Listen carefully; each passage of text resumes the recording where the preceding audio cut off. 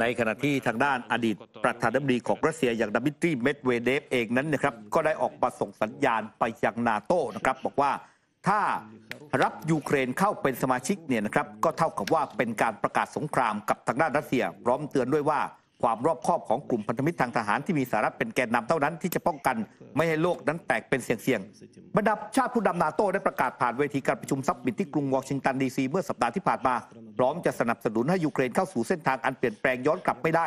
ในการบูรณาการเข้าสู่ยุโรปแอตแลนติกอย่างสมบูรณ์รวมถึงเป็นสมาชิกของนาโตแต่ไม่ได้ให้กรอบเวลาที่ชัดเจนนะครับว่าการเข้าเป็นสมาชิกนั้น จะเกิดขึ้นเมื่อไหร่ ทางด้านดมิทรีเมดเวเดฟซึ่งปัจจุบันดำรงตำแหน่งรองประธานสภาความมั่นคงแห่งชาติของรัสเซีย และถือเป็นนักการเมืองสายเหี่ยว ที่เป็นกระบอกเสียงหลักให้กับทำเนียบรัฐบาลรัสเซีย บอกกับผู้สื่อข่าวนะครับว่าการที่ยูเครนนั้นเข้าเป็นสมาชิกนาโตจะถือว่าล้ำเส้นของการเป็นภัยคุกคามโดยตรง ต่อความมั่นคงของรัสเซีย หรือพูดกันตรงๆ ก็คือมันเทียบเท่ากับการประกาศสงคราม เพียงแต่ล่าช้าออกไปเท่านั้นสิ่งที่พวกศัตรูจะกระทำต่อรัสเซียมานานหลายปีก็คือการขยายกลุ่มพันธมิตร และดึงนาโต้เข้ามาสู่จุดที่ไม่อาจถอยหลังกลับไปได้ เมดเวเดฟยังย้ำคำเดิมๆนะครับที่รัสเซียอ้างมาตลอดตั้งแต่ส่งทหารเข้าไปในยูเครน รัสเซียไม่ได้ข่มขู่นาโต้แต่พร้อมจะตอบโต้ความพยายามทุกอย่างของกลุ่มพันธมิตร ที่จะช่วงชิงผลประโยชน์เข้าตัว ยิ่งพวกเขาทำเช่นนี้มากเท่าไหร่ การตอบโต้ก็จะรุนแรงมากขึ้นเท่านั้น นี่คือสิ่งที่เมดเวเดฟนั้นกล่าวย้ำนะครับ แล้วก็บอกด้วยว่าโลกจะแตกเป็นเสียงๆหรือไม่ขึ้นอยู่กับความรอบคอบของนาโต้เพียงฝ่ายเดียวครับ ขณะที่ความช่วยเหลือนะคะจากสหภาพยุโรปช่างตั้งแต่ช่วงต้นเดือนพฤษภาคมเนี่ยที่ทางสหภาพยุโรปได้มีการพูดคุย แล้วก็มีการลงมติการปรากฏว่าสมาชิกเห็นพ้องในหลักการที่จะนำรายได้ จากสินทรัพย์ที่ยึดจากรัสเซียไปใช้ในการจัดหาอาวุธให้กับยูเครน ทางด้านของคณะกรรมาการยุโรปของสหภาพยุโรปนะคะตอนนี้มีการวางแผนในการยื่นข้อเสนอแพ็กเกจเงินให้กู้ยืม 50,000 ล้านดอลลาร์สหรัฐ หรือว่าถ้าตีเป็นเงินไทยเนี่ย 1.8 ล้านล้านบาทให้กับทางการยูเครน อย่างสัปดาห์หน้าจะมีการประชุม G7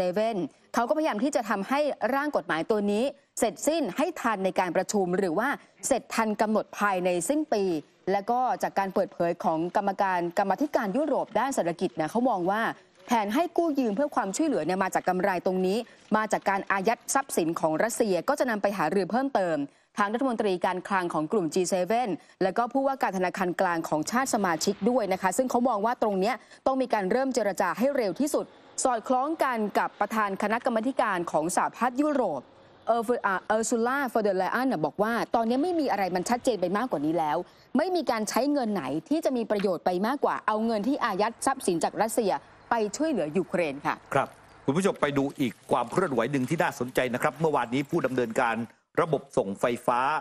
ของชาติบอลติกนะครับ ได้แก่เอสโตเนีย ลัตเวีย แล้วก็ลิทัวเนียเนี่ยลงนามในข้อตกลง ที่จะแยกตัวออกจากระบบส่งไฟฟ้า BRELL นะฮะ BRELL เนี่ยก็คือมาจากเบลารุส รัสเซีย เอสโตเนีย ลัตเวียนะครับ แล้วก็ลิทัวเนียเนี่ยนะฮะทำสัญญาร่วมกันตั้งแต่สมัยสหภาพโซเวียต ว่าคือทุกชาติเนี่ยจะมีการพึ่งพารัสเซียเนี่ยด้านไฟฟ้าเพื่อสร้างสมดุลด้านพลังงานเนี่ยในประเทศของตัวเองค่ะแต่ว่าล่าสุดนั้นเนี่ยครับ เอสโตเนีย ลัตเวียและลิทัวเนียบอกไม่เอาแล้วนะไม่เอาแล้ว เราจะแยกตัวออกจากจากรัสเซียรัสเซียอืมนะเพราะว่าบรรดาชาติเหล่านี้ทุกวันนี้เนี่ยก็คือเป็นชาติสมาชิกนาโตไปแล้วไงครับคุณผู้ชม ล่าสุดนั้นเนี่ยก็มีการทดสอบงานระบบส่งไฟฟ้าที่ถูกแยกเดี่ยวออกมา เดนุสกรีวิทรัฐมนตรีว่าการกระทรวงพลังงานของลิทัวเนียก็บอกนะครับว่าเรารู้เสมอว่าว่าเรากลายเป็นส่วนหนึ่งของสหภาพยุโรป และนาโตแล้ว ดังนั้นเราจะกลายเป็นส่วนหนึ่งของระบบส่งไฟฟ้าของยุโรป หลังจากการเจรจาต่อรองมาเกือบ 10 ปี ชาติบอลติกลงนามในข้อตกลงในปี 2018 เพื่อเชื่อมต่อกับโครงข่ายไฟฟ้าของสหภาพยุโรปเนี่ยครับในอีก 2 ปีข้างหน้าก็คือ 2025 นะครับคุณผู้ชมลิทกริดผู้ให้บริการระบบส่งไฟฟ้าของลิทัวเนียก็กล่าวในแถลงการว่า EU เนี่ยได้ลงทุนกว่า 1.3 พันล้านดอลลาร์สหรัฐ หรือว่าราวๆ 46,000 ล้านบาท เตรียมพร้อมสำหรับชาติบอลติก แยกตัวออกจากเครือข่ายไฟฟ้าของรัสเซีย ครอบคลุม 3 ใน 4 ของต้นทุน การแยกตัวออกมาจะเกิดขึ้นเนี่ยครับ 28 กุมภาพันธ์ ปี 2025 นะครับ เมื่อชาติบอลติกจะประสานงานความถี่ของไฟฟ้าของพวกตนเนี่ยนะครับเข้ากับยุโรปนะครับเชื่อมโยงทางพลังงานกับประเทศโปแลนด์ด้วย การที่ชาติบอลติกแจ้งรัสเซียและเบลารุสเกี่ยวกับการตัดสินใจ แยกโครงข่ายส่งไฟฟ้าในเดือนกุมภาพันธ์ปี 2025 นับเป็นความก้าวสำคัญในการบรรลุความเป็นอิสระ ด้านพลังงานจากรัสเซียสำหรับ3ประเทศซึ่งมีจุดยืน สนับสนุนยูเครน และครั้งหนึ่งเนี่ยเคยปกครองโดยสหภาพโซเวียตนะฮะซึ่งก็บอกว่าบริษัทนั้นจะตัด